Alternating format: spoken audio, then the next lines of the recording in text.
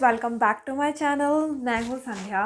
कैसे हैं आप सब? सो so गाइज़ स्वागत है आपके मेरे चैनल पे। And guys if you are new to my channel please don't forget to press the subscribe button and also don't forget to press bell icon so that you can receive a notification whenever I release a new video तो guys आज मैं आप सबके साथ share करूँगी ये green glittery eye look actually glitters के बिना ऐसा लगता है ना कि मेकअप कहीं ना कहीं अधूरा है।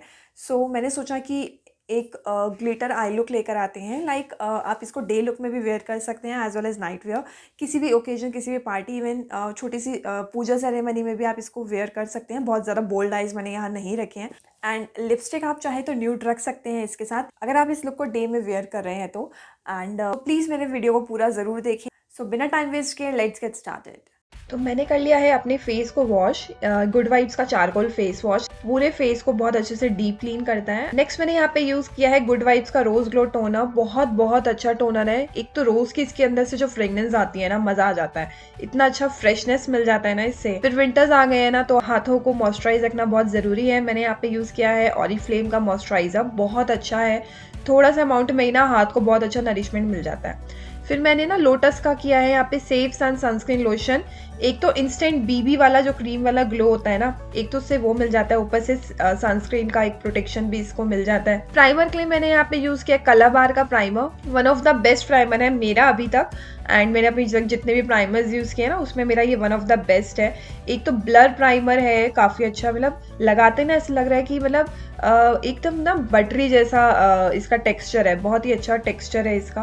देन मैंने यहाँ पे यूज़ किया है मेबलिन का फिट मी कंसीलर है। मैंने इसको सिर्फ़ अपने अंडर आईज पर अपने एक्ने मार्क्स पे ही लगाया है।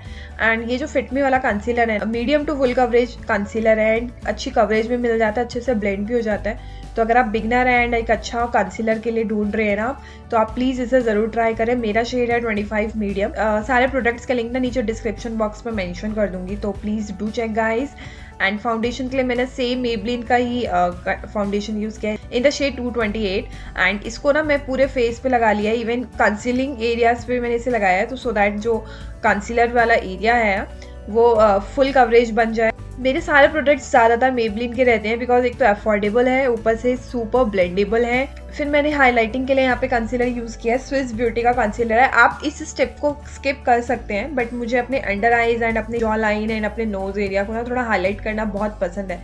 तो मैंने इसीलिए ये वाला कंसीलर मैं यूज़ करती हूँ, अपने शेड से टू शेड लाइटर करती हूँ. एंड स्विस ब्यूटी का ना ये वाला कंसीलर बहुत अच्छा है बहुत अफोर्डेबल है. एंड ना मतलब इतना अच्छा कवरेज मिल जाता है ना इससे. ऐसा एक फाउंडेशन होना चाहिए आई गेस मतलब बहुत अच्छा कवरेज मिल जाता है इससे. एंड वन में मिल जाता है. एंड इवन अगर डिस्काउंट चल रहा है जैसे आजकल दिवाली सेल तो और ज़्यादा सस्ता मिल जाता है. एंड इन सारे क्रीम प्रोडक्ट्स को मैंने पैक किया है. मेबलिन uh, का ही फिटमी कॉम्पैक्ट है इन द शेड 220 एंड मैंने ना इसको जैसे लूज पाउडर की तरह यूज़ करते ना मैंने वैसे ही यूज़ किया है. पूरे फेस पे ब्लेंड भी कर सकते हो आप. लेकिन मैंने इसको थोड़ा लूज पाउडर के लिए किया है। नायका का स्मॉल ब्लेंडिंग ब्रश ली है एंड काफ़ी अच्छे से ब्लेंड हो जाता है इससे। मतलब थोड़े थोड़े एरियाज़ के लिए क्रीज लाइंस के लिए बहुत अच्छा है। मैंने यहाँ पे जो पैलेट यूज़ किया है, ये स्विस ब्यूटी का हिलेरी रोडा का पैलेट है। इसमें से लाइट ऑरेंज शेड यूज़ किया है मैंने एंड अपने सिर्फ़ क्रीज एरिया पे किया है। तो पहले मैंने लाइन स्ट्रॉ करी, उसके बाद मैंने गोल गोल स्ट्रॉक्स में ना उसको ब्लेंड किया है।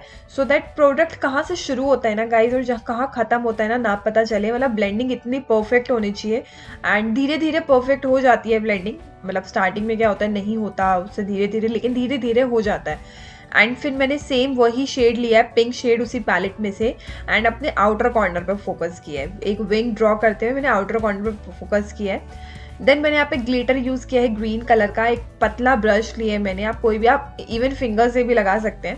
मैंने पतले ब्रश से ना सिर्फ़ अपने आई लिट पे इसे लगाया है एंड मैंने जो पैलेट यूज़ किया है, ये है स्विस ब्यूटी का ही same palette glitter palette and इसमें से एक ग्रीन ग्लिटर लिया है मैंने। एंड आप अपने आउटफिट के अकॉर्डिंग भी दूसरा ग्लिटर भी ले सकते हैं। मैंने ये ग्रीन ग्लिटर लिया है क्योंकि टॉपिक ही ग्रीन ग्लिटरी आइज़ है। लेकिन आप कोई भी इवन ले सकते हैं। देन मैंने यहाँ पे ब्रॉन्जिंग कर लिया है। माना ब्रॉन्जर का पैलेट लेके मैंने डेंस ब्रश लिया है इस बारी। मैंने कॉन्टोर ब्रश नहीं लिया। इस बारी थोड़ा पाउडर ब्रश से मैंने किया है, लेकिन मुझे उतना मज़ा नहीं आया।